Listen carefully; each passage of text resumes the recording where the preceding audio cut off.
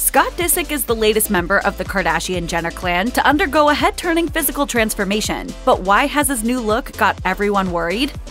Kim Kardashian's evolving looks have been a conversation starter since she became the star of the family. Meanwhile, Rob Kardashian's weight loss transformation has inspired more recent chatter, and Scott Disick, who was only 24 when he first appeared on Keeping Up with the Kardashians, has also gone through quite the transformation since kickstarting his reality TV career. When Kardashian fans first met Disick in 2007, he had short cropped hair and none of the facial hair he would later sport. However, by the mid 2010s, he had matured into the image most of his fans have started to associate with him defined most memorably by his long, bushy hair. Then there was Disick's bleach blonde phase, which he briefly tried out in February 2021. As for his favorite look, he doesn't exactly have one. In August 2021, he told E! News, I don't think I have a favorite hairstyle, but I would say the slicked back Gordon Gekko hair from Wall Street seems to be the signature Lord haircut that I really liked. Now, Disick has debuted another new look, but this one has inspired some less positive feelings among fans. Disick was recently photographed departing from the home of his ex-girlfriend, Chloe Bartoli. His thinner frame, especially in the facial area, demanded particular attention. According to In Touch, Disick's new look has inspired negative commentary from his circle. Speaking about a video posted on Instagram in February 2024, a source said, He's wearing a cap and oversized sunglasses and has a beard, but you can still see how skinny he is. He looks emaciated,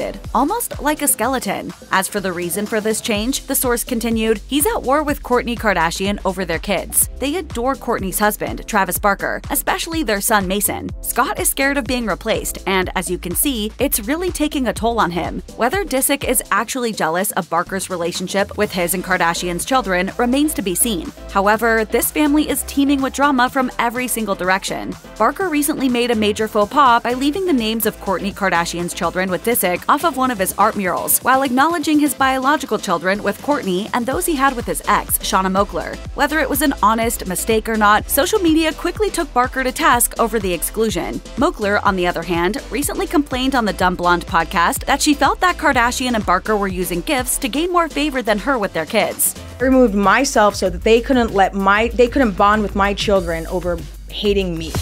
Of course, this isn't the first time in recent years that Disick's weight has fluctuated. In 2022, Disick was caught up in a scary car accident while cruising in his Lamborghini in Calabasas, California. TMZ initially reported that Disick was expected to be okay, although the photo they published of his car on its side definitely looked serious. A few months later, Disick revealed during an episode of The Kardashians just how serious his wreck was. But it basically hit and it did a somersault forward, then hit, then landed. Unfortunately, Disick's accident caused him severe back pain, which impeded his ability to work out, leading to unintended weight gain. Since then, everything has changed in my life. Like, I haven't been able to run around, I've gained weight. Khloe Kardashian vowed to help Disick recover. I think Scott maybe needs a little pep talk because this is probably the unhealthiest I've seen him.